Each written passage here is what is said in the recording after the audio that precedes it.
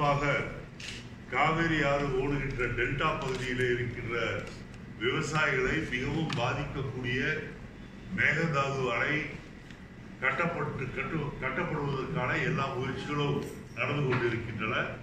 அந்த மேகதாது அணை கட்டுவதற்கான மணலையும் மண்ணையும் தேனியிலே நாடாளுமன்ற தொகுதியிலே போட்டியிடுகின்ற அதிமுக வேட்பாளர் அவர்கள்தான் அதற்கு சப்ளை செய்கின்றார் என்ற செய்தியை கேட்டு இந்த தேனி தொகுதி மக்கள் மட்டுமல்ல தமிழக மக்களை இன்றைக்கு அதிர்ச்சிக்கு உள்ளாகி இருக்கின்றார்கள் ஒரு தமிழகத்தினுடைய துணை முதலமைச்சராக இருக்கின்றவருடைய மகன் தேனி நாடாளுமன்ற தொகுதியிலே போட்டியிடுகின்ற அந்த நபர் அதிமுக சார்பில் போட்டியிடுகின்ற அந்த நபர் தமிழக மக்களுக்கு எதிராக இருக்கக்கூடிய மேகதாது அணைக்கட்டில் கட்டுவதற்கு மண் மண்ணையும் மணலையும் அனுப்பி கொள்ளை லாபம் சம்பாதிக்கிறார் என்ற செய்தி மிகவும் துரதிருஷ்டவசமான செய்தி.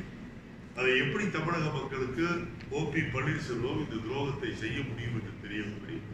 ஆகவே இவர்களை பொறுத்தவரையில் எதிலும் பணம் வந்தால் போதும் என்ற முறையில் தான் இருக்கின்றார்களே ஒழிய மக்கள் மீது தமிழக மக்களின் மீது எந்த அக்கறையும் இல்லாதவர்களாக இருக்கின்றார்கள். கண்டிப்பாக இந்த தேர்தலிலே தமிழக மக்களை வாட்டி வதைக்கின்ற திட்டத்திற்கு துணை போகின்ற ஓபிஎஸ் அவருடைய மகனுக்கு மிகப்பெரிய தோல்வியை தேடி நாடாளுமன்ற தொகுதி மக்கள் தருவார்கள். அடுத்தது நேற்றைக்கு மோடி அவர்கள் இங்கே வந்தபோது அந்த கூட்டத்திற்கு வந்த மக்கள் தேனி நாடாளுமன்ற தொகுதியில் இருந்து மக்கள் யாரும் அங்கே வரவில்லை. மாறாக தமிழகம் முழுவதும் இருந்து பஸ்களை இயக்கி கிட்டத்தட்ட ஆயிரத்துக்கும் மேற்பட்ட பஸ்கள் பர்மிட் இல்லாமல் எந்த விதமான அனுமதியும் இல்லாமல் தேனிக்கு எல்லா இடங்களிலும் இருந்து மக்களை வலுக்கட்டாயமாக ஒவ்வொருவருக்கும் ஆயிரம் ரூபாய் கொடுத்து கூட்டி வந்தார்கள்.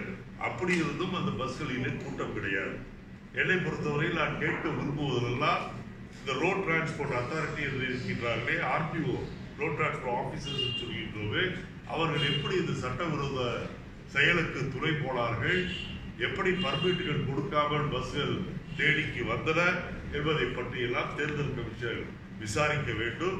நேற்று கூட நடந்த கூட்டத்தில் எடப்பாடி பழனிசாமி அவர்களை அறிமுகப்படுத்தி பேசிய பன்னீர்செல்வம் அவர்கள் எடப்பாடி பழனிசாமி இப்போது பேச போகின்றார். எல்லோரும் உற்சாகமாக கைதட்ட வேண்டும் என்று சொன்னபோது அங்கே இருந்த மக்கள் கூட்டத்துக்கு வருவதற்குத்தான் நீங்கள் பணம் கொடுத்தீர்களே தவிர கைதட்ட வேண்டும் என்றால் எக்ஸ்ட்ரா பணம் கேட்டிருக்கின்றார் இது போன்ற ஒரு அவலமான நிலை நடந்திருக்கின்றது. அது மட்டுமல்ல வேட்பாளர்களாக இருக்கின்றவர்கள் மோடியுடைய காலில் சஷ்டாக்கமாக விழுந்திருக்கின்றார்கள். மோடி அவர்கள் பேசும்போது எல்லை பற்றி சொல்லி இருக்கின்றார் வெளிநாட்டிலிருந்து மன்னிக்க வேண்டும். வெளியூரில் இருந்து இங்கே ஆட்களை கொண்டு வந்திருக்கின்றார்கள் என்று சொல்லியிருக்கின்றார். இதே இந்த ஆண்டிப்பட்டியில் தான் ஜெயலலிதா அவர்கள் இருக்கிறார்கள். அதே போல எம்ஜிஆர் அவர்களும் இங்கே தான் இருக்கிறார்கள்.